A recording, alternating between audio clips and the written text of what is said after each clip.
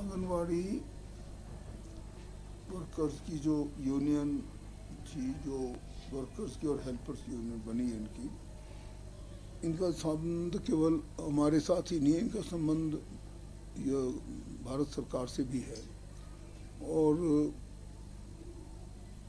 बहुत से ऐसे बिंदु हैं जिन पे विचार करना आवश्यक है नो डाउट कि इनको किस प्रकार से इनके जो प्रभाव पड़ा इन पे जो खासकर नई शिक्षा नीति का।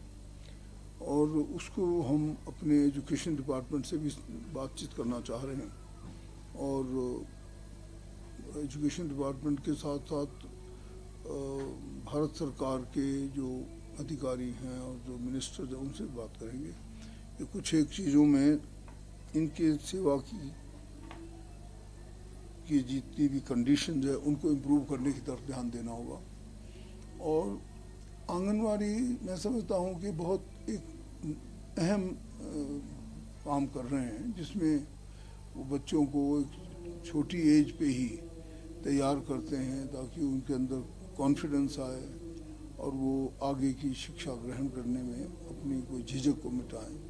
और सच में तो ये है कि भाई, जब आंगनवाड़ी का कॉन्सेप्ट शुरू किया था तो इसका मतलब यही था कि हम जो गाँव के ही लोग हैं, वहीं के जो आसपास के लोग हैं, उनको काम मिले और वो अपने बच्चों को आंगनवाड़ी में लाकर प्ले वे मेथड से सिखाएँ, चित्रों के माध्यम से दिखाएँ कुछ ऑब्जेक्ट्स के माध्यम से दिखाएँ, ताकि बच्चों का जो बौद्धिक विकास हो और उनके अंदर एक प्रकार से उनका मनोबल और आत्मबल बढ़े।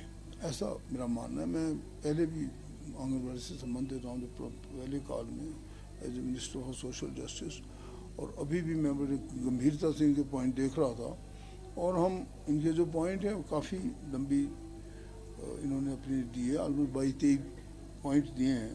हम सब पर बड़ा सहानुभूति विचार कर रहे हैं। और ऐसा नहीं कि पहले से भी नहीं करते थे, अब ऐसी बात नहीं आंगनवाड़ी न केवल अपने बच्चों के लिए, बल्कि इसके अलावा भी सरकार के बहुत से काम कामों में अपना योगदान देती रही है, देती देती है और आंगनवाड़ी कार्य, कार्यकर्ता और आशा वर्कर्स बहुत से और दूसरे कामों में भी बहुत मदद करते हैं। इसलिए इनके जितने भी पॉइंट आए हैं मानदेय को बढ़ाने के बारे हो, चाहे सर्विस कंडीशन में सुधार लाने की बात हो, उन सब पर ध्यान दिया जाएगा और जो इस प्रकार के कोई कई ऐसे भी पॉइंट हैं जो जिसकी वजह से ये देखने को मिला है कि आंगनवाड़ी में बच्चों की तादाद काफ़ी कम हुई है। उस पर भी हम ध्यान देना चाहते हैं और यही ज़्यादा इम्पोर्टेंट पॉइंट मुझे लगता है